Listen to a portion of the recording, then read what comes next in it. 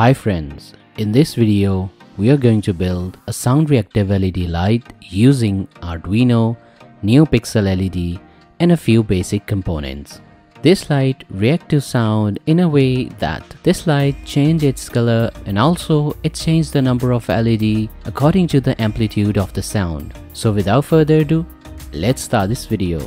If you are not subscribed to my channel, then do subscribe and don't forget to press the bell icon so you can get notified about my new videos. Follow me on Facebook and Instagram. I have a second channel Canitech, do check it out as well. Subscribe and support it. All the links are in the description.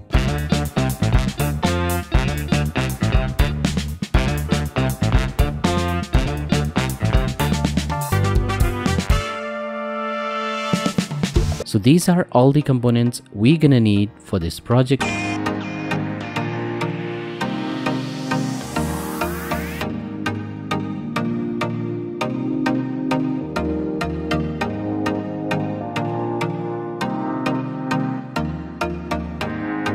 First connect Arduino, now connect a 2 pin terminal block and connect its 1 pin to 5 volt pin of Arduino and its other pin to ground. Now connect the pixel LED light and connect its VCC pin to 5 volt pin of Arduino, its ground pin to ground and its data pin to A0 pin of Arduino. Now connect the microphone and connect its ground pin to ground. Now connect a 10k resistor and connect its one pin to positive pin of the microphone and its other pin to 5 volt pin of Arduino. Now connect a 100 nanofarad capacitor and connect its one pin to positive pin of the microphone. Now connect the BC547 transistor and connect its pin number 1 to A5 pin of Arduino and connect its pin number 2 to remaining pin of the capacitor and its other pin to ground. Now connect a 10k resistor and connect its one pin to 5 volt pin of Arduino and its other pin to pin number 1 of the transistor. Now connect a 100k resistor and connect its one pin to pin number 1 of the transistor and its other pin to pin number 2 of the transistor. So we have completed all the connections. Now let's see the code. So this is the code.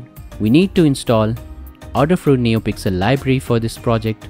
Go to library manager and type Adafruit NeoPixel and install the library.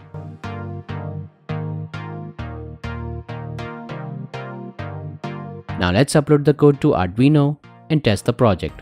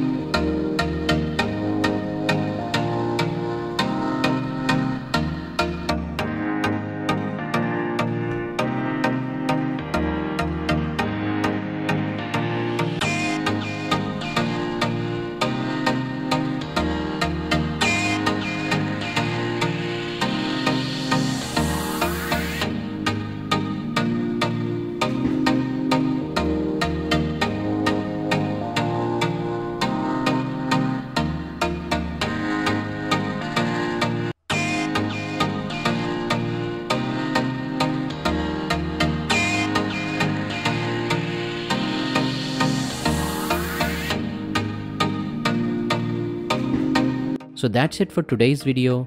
I hope you have enjoyed this video. For more videos like that, stay tuned and I will see you in the next video.